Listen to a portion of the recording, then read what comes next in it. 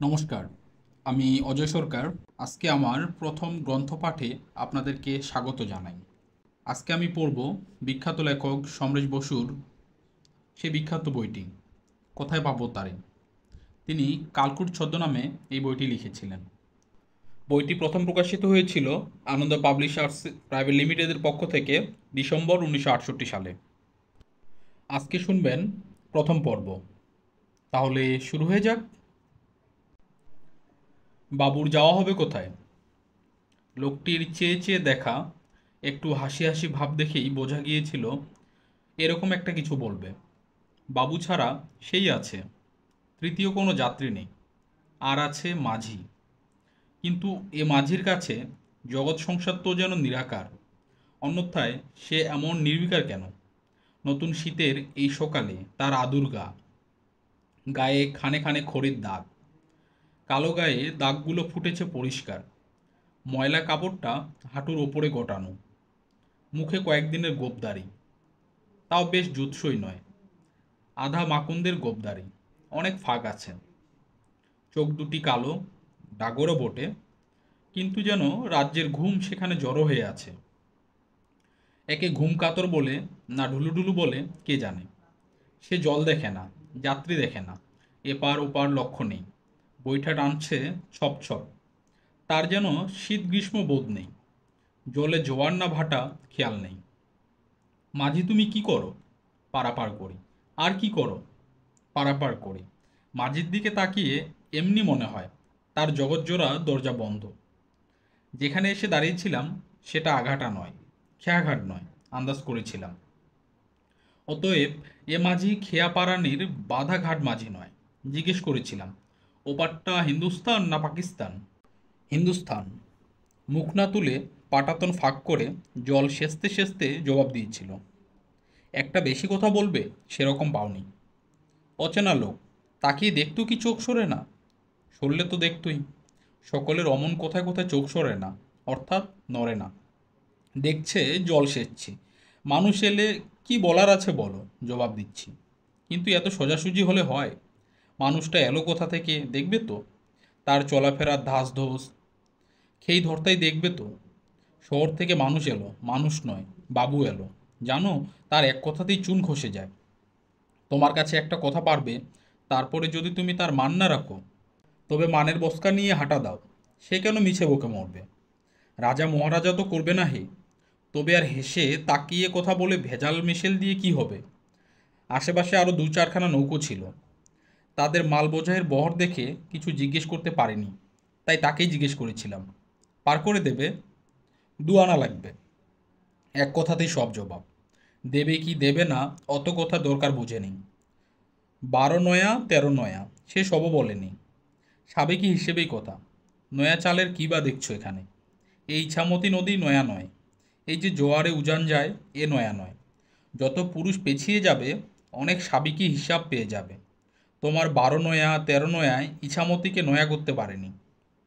আগের ভাটার যে পলি এখনও ডোবেনি, তার রং সেই সাবেকি, কালো কুচকুচে পাতায় মোড়া পাতক্ষীরের মতো।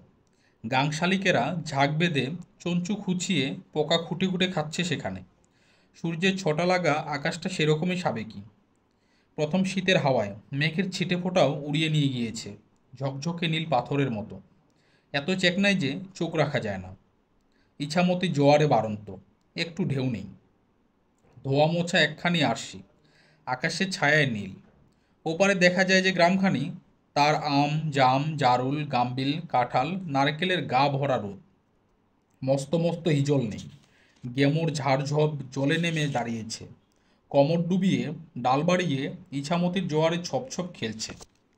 মাঝে মধ্যে কেওড়ার ঝোপ। বারো নয়া, তেরো নয়ার মতো নতুন কিছু নেই। সবই সাবেকি। নয়া তো তোমার মিলের ধুতির পারে মিলবাবুর জামায়, চোখের জার্মান কাচের কালো ঠুলিতে, শান্তিনিকেতনই ঝলায়। কথার ভেজাল বাড়িয়ে লাভ কি? উঠে বসেছিলাম। দরাদরি করা যেত, কেননা টিকিট যখন ছাপানো নেই। ছাপাছাপি না দেখলে কোনো কিছুতেই একদর বলে মানতে শিখিনি। কিন্তু এ যা মাঝি, তার এক মুখ খোলা, বাকি সব বন্ধ, কথার ভেজালে নেই, কথাই ছাপানো। উঠে বসতেই জলসেচা বন্ধ করে পাটাতনে বসিয়ে দিয়েছিল। ছই নেই, খোলা জেলে নৌকার মতো। জালের ভাত ছিল না যে মাঝিকে মাছ ধরা ভাবব। এই মালবোঝাইয়ের ঘাটে যে সে বেগার দেওয়ার জন্য বসেছিল না, তাতে সন্দেহ নেই। হতে পারে মাছ মারে, মাল বহে, পারাপারও করে।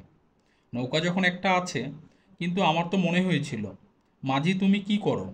পারাপার করি। এছাড়া আর কিছু নয়। আর কি করো? পারাপার করি। নৌকার খুঁটি তুলে ঠেলা মারতে যাবে। তখনই ইনি এলেন, দ্বিতীয় যাত্রী। চিৎকার শোনা গিয়েছিল। অদরদা অদরদা, দাঁড়িয়ে। অদর, অর্থাৎ অধর। তবে আমি অধর মাঝিকে ধরতে চেয়েছিলাম। ও ভোলার মন। সবাই কি আর অধর ধরার কল পাততে জানে? দেখো, বগলে কি একটা চেপে রং ওঠা গেরুয়াই হবে। আলখাল্লার মতো জিনিসটা হাঁটুর ওপর অবধি তুলে কেমন ছুটে আসছিল লোকটা। কোথায় যাবে যাবে কি না, দর কত, কোনো জিজ্ঞাসাবাদ নেই। অদরদা দাঁড়িয়ে, তো অধর নৌকার দড়ি ধরে দাঁড়িয়ে। অধর মাঝে একবার তারা দেবার হাঁক দেন। কালো মুখখানিতে, কপালে বা ভুরুতে কোথাও একটু এদিক ওদিক হয়নি। ঢুলুঢুলু চোখ দুটো তুলে একবার লোকটিকে দেখেছিল মাত্র। সে এসে উঠতেই নৌকা ঠেলে দিয়েছিল। তারপরে শোনো কথা। জয় মুর্শেদ, বেলা হয়ে গেল। একটুকুন তাড়াতাড়ি আসতে পারলে জানি পারের চিন্তা নাই। তবু যাজ্ঞা তোমাকে মিলিয়ে দিলে গড়া সাইবে। বেরুতে যাব। হরেকেষ্ট আর তার বউয়েতে কি ঝগড়া? পাড়ায় কাকসিল থাকতে চায় না। বৃত্তান্ত কি? না। হরেকেষ্ট গাই দেওয়াবার আগে এক ফেত্তা হুকু টানতে বসেছিল। বেরুবার মুখেতেই। এসব বড় খারাপ। দিনটা না ব্যর্থা যায়। দাঁড়িয়ে একটু জোরাতালি দিলাম তারপরে। কিন্তু মুর্শেদের জয় হয়েছে। গোরা সাহিবে মিলিয়ে দিয়েছে। ঝগড়া মেটানো হয়েছে। সব বৃত্তান্তই বলা হয়েছিল। অধর মাঝি অধর, সে তেমনি নির্বিকার, তার চারপাশে সব যেন নিরাকার। তার বইটা জলে পড়ছিল ছপ ছপ, সে পারাপার করে তার দৃষ্টি না জলে না থলে, কথা নেই। শোনে কি না কে জানে, লোকটি এমনি বসে কথা বলছিল না। ছুটে এসে সে তার কাঁধের ঝোলা ঠিক করছিল, আলখাল্লা না জব্বা, যা হোক, দেখে নিচ্ছিল। ছিঁড়ে যাবার ভয় ছিল বোধহয়। দেখে ভাবছিলাম, ছিঁড়বে না বা কেন? ও আলখাল্লার আর আছে কি? শতখানে শতেক তালি। এখানে মস্কানো, ওখানে মস্কানো। ওটার নাম এখন তালিখাল্লা হলেই ভালো হয়। নয়তো কাঁথা খাল্লা তালিতে তালিতে এমন মোটা হয়েছে, কাঁথার মতোই দেখাচ্ছে। তার ওপরে যত ঝাড়ে, তত ধুলো ওড়ে। কবে যে রঙে ছপানো হয়েছিল, কে জানে। এখন গেরুয়া জলে ধোয়া। মাথার পাগড়িটা অন্তত আস্ত আছে, মনে হয়েছিল। সেটা খুলে যখন ঝাড়া দিয়েছিল জয় মুর্শেদ, সেটিতে অজস্র ছিদ্র আর গিটে ভর্তি। অথচ বাইরে থেকে এমন নিপাট ভাস জড়াবার কেরামতি, সব ছিদ্র বন্ধন। এক কলসিতে নয়টি ছিদ্র, নবম পদ্মদলে। মন, ছিদ্র বন্ধন করো। পাগড়ির খেলা সেই রকম দেখেছিলাম। ঘাড় অবধি বাবরি চুলে ঝাপটা দিয়ে ধুলো ঝেড়ে ঝেড়ে ওবার পাগড়ি বাঁধতে দেখেছিলাম। তারপরে ওই শোনো। ইছামতির বুকের ওপরে ডাক শুরু হয়ে গিয়েছে।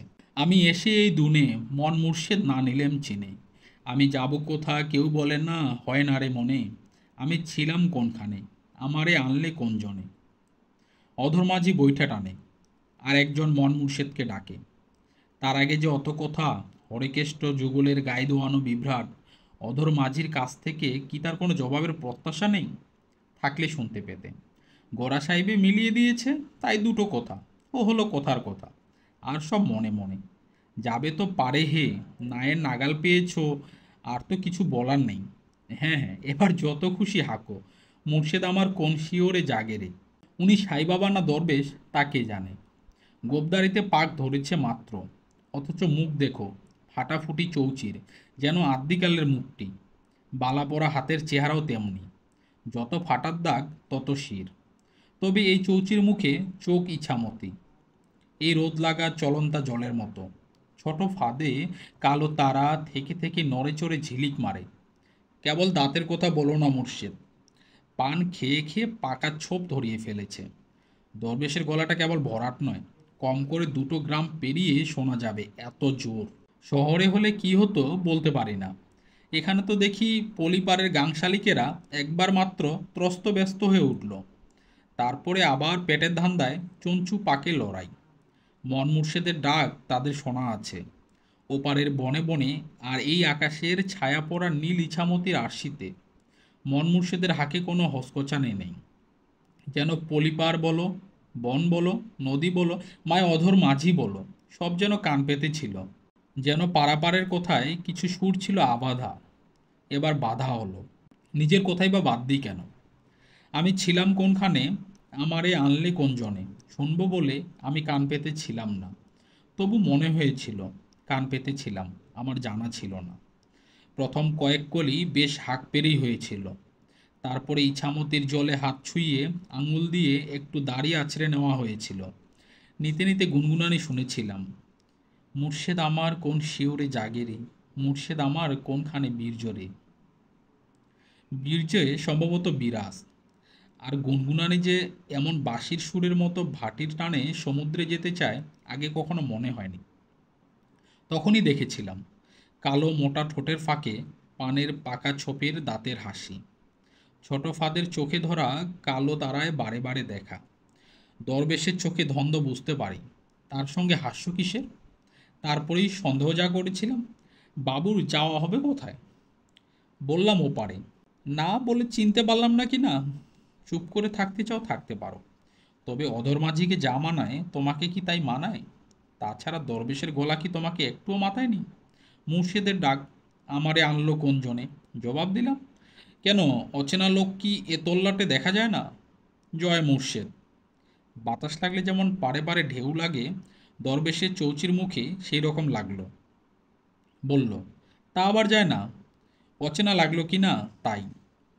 বলে সাইয়ের ঠাই তো সবখানে, এ তল্লাটে বাবুকে দেখি নাই। অধর্মাজি কি বলে? কিছু না, কেবল বইটা ছপ ছপ। বললাম, কোথায় যাব তা জানে না। ওপারে যাবার ইচ্ছা হলো, তাই যাচ্ছি। নাম কি ওপারের? জিজ্ঞেস করলাম। দরবেশের ঝোলা থেকে তখন একখানি পুরনো ডুবকি বেরিয়েছে। ডুবকির চামড়ায় টকা দিতে গিয়ে সাইবাবা হেসে মরে গেল। বলল, বাবু বলে কি গো অদরদা পারের নাম জানে না? অধর সেই রকমই অধরা। সে কেবল পারাপার করে। নৌকা এখন মাছ দরিয়ায় আরশির তলায় তলায় টান। উজান কি আর এমনি ওঠে? গোটা সাগর চাপ দিচ্ছে। বইটা হাতে নাও, বুঝতে পারবে উজানি টান কাকে বলে। দরবেশ আবার জিজ্ঞেস করে, তবে যাচ্ছেন কোথায়? ওপারে। ওপারে? সাই বাবার আবার হাসি। বলল, কোনো ঠিকানা নাই? লোকটার গলায় যেন হাসির বান আটকে রয়েছে। জবাব শুনলেই কলকলিয়ে ফেটে পড়বে। তবু বলতে হলো, না, একেবারে দাড়ি ওড়ানো হাসি আসলো দরবেশ। বলল, মজার ব্যাপার তো, বাবু যে মুর্শিদ খুঁজতে বেরিয়েছেন, আমারে আনলে কোন জনে? আমি ছিলাম কোনখানে? তা আসছেন কোত্থেকে? আর একটু কাছে এগিয়ে এসে বসল। মাঝি একটা কথাও জিজ্ঞেস করেনি। সাই বাবার কথা ফুরায় না। আমার বাসস্থানের আধা শহরটার নাম বললাম। সে অমনি ঘাড় নেড়ে বলল, গেছি গেছি, আপনার দেশ ঘুরে এসেছি। তা সেখান থেকে সাত সকালে বেরিয়ে পড়েছেন। ওপারে যাবেন বলে। হ্যাঁ। আর ওপারের নামও জানেন না। জানবার দরকার কি তা নিজেই জানি না। নিজেকে যে কথা জিজ্ঞেস করিনি, তা এ লোককে বলি কেমন করে? আমি তো নামের খোঁজে আসিনি। আমি যেতে চাই। ওই আম জাম নারকেলের ছায়ায় যে পথ গিয়েছে, সেই পথে। যে পথ আমার অদেখা অচেনা। আমি ইছামতির আয়নায় আকাশ দেখব। যত দূর চোখ যায় তত দূরে আর এমনি মন মসজিদের ডাক যদি শুনি, তবে তাই শুনব।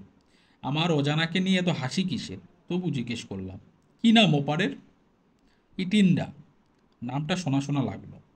ম্যাপে দেখেছি কি বইয়ে পড়েছি, মনে করতে পারি না। দরবেশ বলল, তা বাবু, ঠিকানা যদি নাই, ওপারে গিয়ে কি করবেন? দুপাক না দিতেই তো সেই বর্ডার।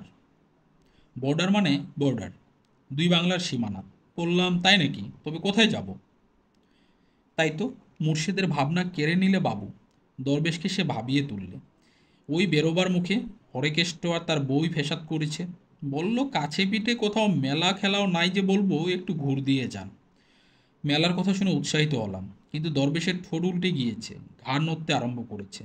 বলল, উহু, এক আপনার গে সেই সাখরের রাসের মেলা, তাও ভাঙ্গা মেলা, দূর বেজায়। অতএব দু পাকের তিনটাতে ঘুরে আসা যাক। বাংলাদেশের ওপারের রংটা আলাদা হয়ে গিয়েছে, কিনা দেখে আসা যাবে। দরবেশ দেখি ডুবকিতে আঙুলে টোকা মারছে। ডুব ডুব, ডুবকি ডুপুক পকেট থেকে সিগারেট বের করে ধরালাম। দেখলাম দরবেশের চোখ বোঝা। নাকের পাটা ফোলানো। তারপর হুশ করে নিঃশ্বাস ফেলে বলল, হুম, যা ভেবেছি, একেবারে তাই। কথার শেষে পাকা ছোপে দাঁত দেখা গেল। চোখের তারা সিগারেটের দোগায়। বোঝার উপায় নেই। কাকে বলছে?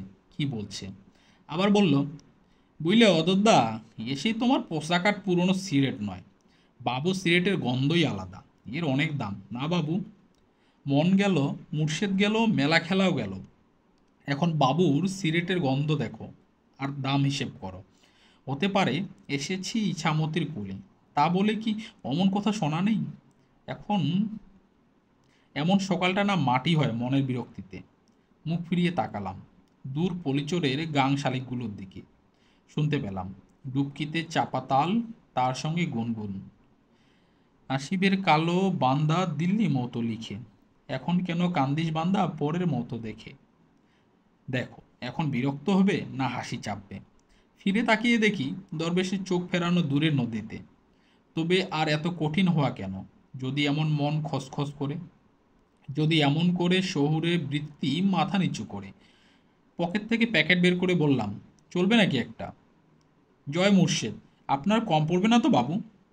দায় দেওয়া জ্ঞান টনটনে। প্যাকেট খুলে সিগারেট দিয়ে বললাম, না। তবে বাবু দিয়া সলাই খানিও দেন। ঘোড়ায় যখন দিয়েছি, চাবুক রেখে আর কি করব। দেশলাই বের করে দিতে গিয়ে দেখি, সিগারেট দুখণ্ড করে ছেঁড়া হয়েছে। ভাবছি, অর্ধেকটুকু আপাতত ঝলায় যাবে। তার আগে হাত বাড়িয়ে বলল, খাও গো দা বাবু দিলে।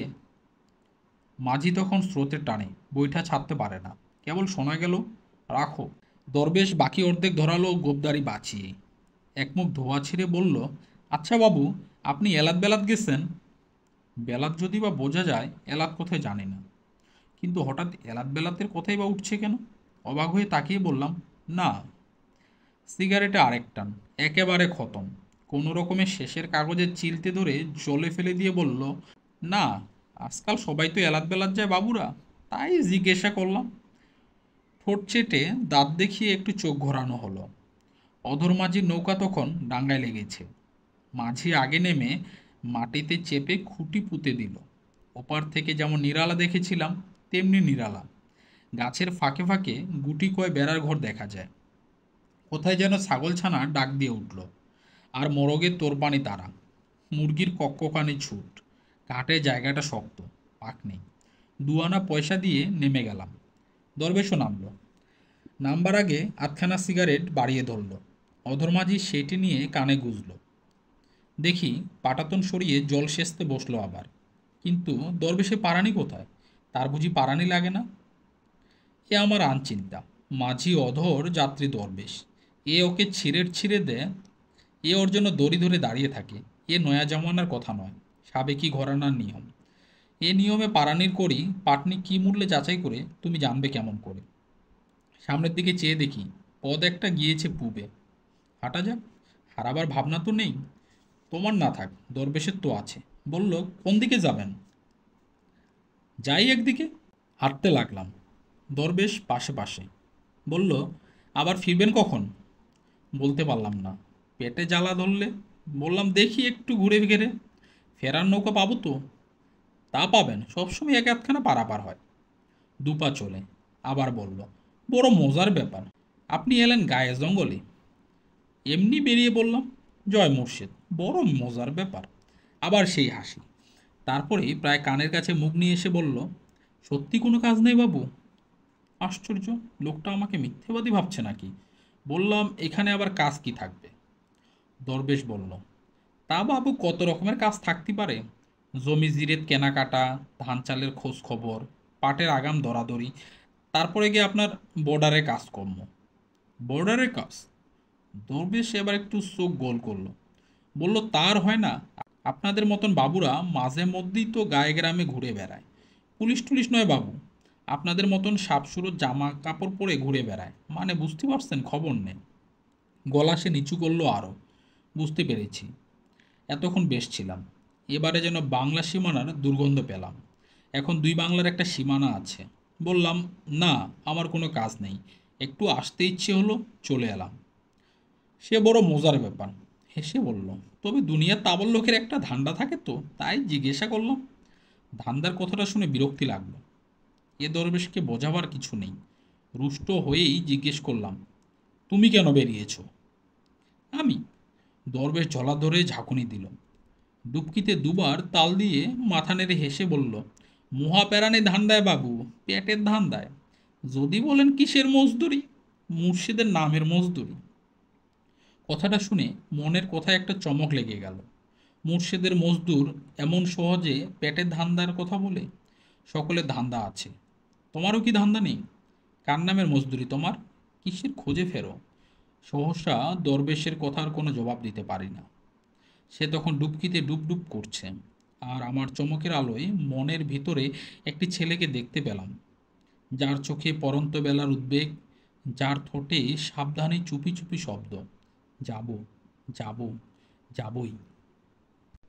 প্রথম পর্ব এই পর্যন্তই। ভালো থাকবেন।